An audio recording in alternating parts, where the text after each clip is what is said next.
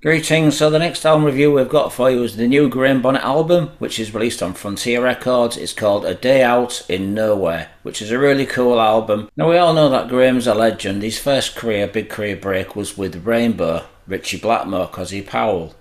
Fantastic band.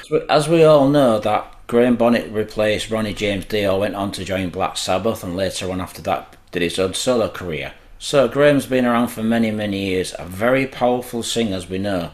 He's been had some really good success. Not only has he had success with Rainbow, he also had success with Michael Schenker Group, also with Impellitteri Band, a fantastic album Stand in Line, which was released on Relativity Combat back in the 80s, a great album for Graham Bonnet and also for Chris Impellitteri. Now we all know Graham Bonnet's success with Rainbow with two classic songs, a lot of chart success as well as touring success songs like All Night Long, and also Since You've Been Gone. Not only has Graham had success with Rainbow and Michael Schenker, he was also involved with Alcatrazz, which had some really good guitar players. As we all know, the original guitarist Yngwie Malmsteen then was replaced by Steve Vai, who later on joined the Dave Lee Roth band. It's also good to know that Graham's done a lot of projects as well. I mean, he's been involved with a band called Forcefield. Now, if I correct me if I'm wrong, Tony Martin was also involved with that project as well. Graham's also been involved with the Japanese band Anthem that was still going strong back in the day. He did something with the band between 2000 and 2001. Now, if you've ever seen Graham Bonnet live, you'll know just how much of a powerful singer he is. I managed to catch him live on his own solo career, and I also saw him on the Michael Schenker Fest, which was a couple of years ago, with some fantastic singers like Robin McAuley and also Gary Barden on vocals as well. It was a fantastic tour uh, to see some great singers on stage with Michael Schenker. So Graham's done his own solo career for many years, as we all know since departing with Rainbow and Michael Schenker. This is his new album, like I said, just come out on Frontier Records and features some fantastic musicians as well as a lot of guest musicians, which we're going to talk about very shortly. So, the main musicians on this album is only three musicians. We've got Graham Bonnet and vocals, and also guitarist Conrado Pesinato, bass player, who's also been with them for many times, is Beth-Ami Heavenstone. Now, the, the guest musicians on this album, we've got on keyboards, we've got Alexander Pertino, we've got drums, Levy Dukos. Also on drums, we've got Shane Gallagher. Now, Shane, as we know, has been involved with Yngwie Malmsteen and many other great musicians. We've also got on guitar, acoustic guitar. Acoustic guitar, we've got Takadino Ozaki on acoustic guitar. Also on drums on this album, we've got John Tempesta, I'm pretty sure John Tempesta was involved with White Zombie and also Testament. I could be wrong, could be a different guy.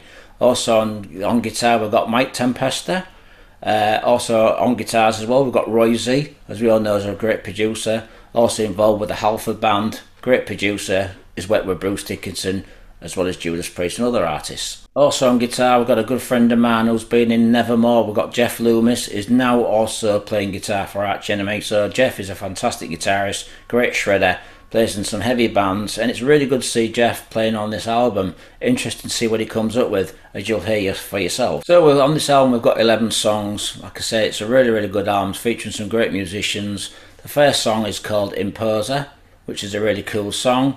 Second song, we've got 12 Steps to Heaven, which is another catchy song. It's kind of old school rainbow, but with a modern touch. As we know, Graham really does belt out this album with his vocals. Very strong singer. So next we've got Brave New World featuring Roy Z, Uncle John. We've also got a song called Day Out to Nowhere, which is the title track. Really catchy song. I'm just running through to you now the songs, and then we're going to go through them in a little bit more in depth. So these are the song titles on the album. So we've also got a Sky, The Sky is Alive, David's Mum, When We're Asleep, featuring Mike and John Tempesta. And then we've got It's a, Just a Friggin' Song, featuring Don Airey on keyboards. We've also got on a song called Just a Friggin' Song, which features Don Airey on keyboards. Now we all know Don was involved with Ozzy Osbourne as well as other great artists. Next song is called The Jester. This features Jeff Loomis on guitar.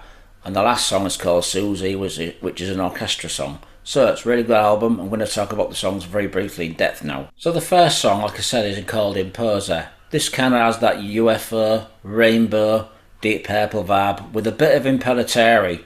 For some reason, it just reminds me of the Impellitteri album, the way that Graham produced his strong vocals on this album. So it's a really catchy song. It's got that 70s, 80s vibe in it with a bit of a modern touch. Catchy song, great melodies, great vocals, well worth checking out. So the next song, 12 Steps to Heaven. That kind of has the Impellitteri vibe again. It also has vibes of Alcatrazz, Graham's previous band. So you get that Yngwie Malmsteen, Steve Vai sort of vibe in there and Chris Impellitteri all in one. So yeah, it's got a great song, great catchy song. Like the next song, Brave New World, to me has the old school Alcatrazz. A little bit of new modern style Alcatrazz, even though Graham's not trying to copy what he's done in the past. But it's hard to get rid of the past when you've been in such great successful bands. So this is a really good song and it's called Brave New World. Catchy, some real good vocals here by Graham. He's one of the best singers out there in rock, you know, probably gets underrated, but he's definitely got a strong voice live. And if you've seen him live, you'll know exactly what I mean. Now, the next song, Uncle John, strange name for a song title. Be interesting to know what the story is behind this song. This song really has a deep purple vibe to it and a little bit of Whitesnake.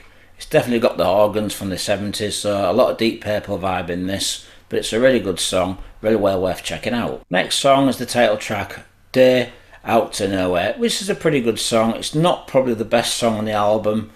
It's not as packing a punch, you know, it's a bit laid back, but it is a pretty good song. I mean, Graham doesn't really belt out on this song, but it is a good for what it is. But like I say, it's not for me the strongest song on the album, but still pretty good song. Now, the next song, The Sky is Alive, this is a little bit better than the last song. It's getting back to the songs that I've talked about already, so it's a bit more up tempo, catchy, like I say again. Some really good melodies in there, catchy riffs, great music, and all around great song. Now, the next song on the album is called David's Mum. Like I say, another strange title. There must be an interesting story behind it. This is a little bit like the title track, a little bit more laid back.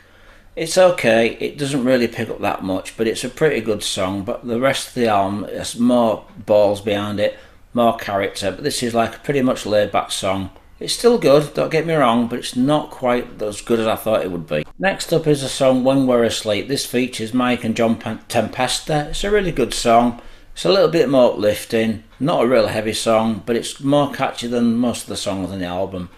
Like I say, Graham's putting a lot of effort into this album. Production wise, it's fantastic, really solid album, and this is a pretty good song. Really well worth checking out. So, the next song features my friend Jeff Loomis. This song's called Jester. This has got a bit of a balls behind it because obviously, I mean, Jeff's going to be playing some really good shredding guitaring, and he does. He really does prove to himself how much of a great guitarist he is outside of the shredding and playing fast stuff. So, Graham has made a wise choice there getting Jeff involved. Now, I think Jeff has also been involved with some live in performances with Graham Bonnet, so this song is a really catchy song, really well worth checking out. It's also good to remark to say that the the song Jester also has a lot of Impellitteri in there, so yeah, Jeff Loomis is the wisest choice for this song. It takes you back to the Impellitteri album, Stand in Line. Great song, well done, Jeff. Now, the last song is called Susie, which is an orchestral part. It's only Graham and keyboards sing on this song, so there's no really music on it whatsoever. It's just Graham performing at his best. Powerful vocals, beautiful melodies. Graham has a lot of emotion on this song, really well put together. Graham's done a fantastic song. So the song's called Susie, and it's probably much like an outro for the album, but yeah, great song. So I'm going to give this album 4 out of 5. It's a good album.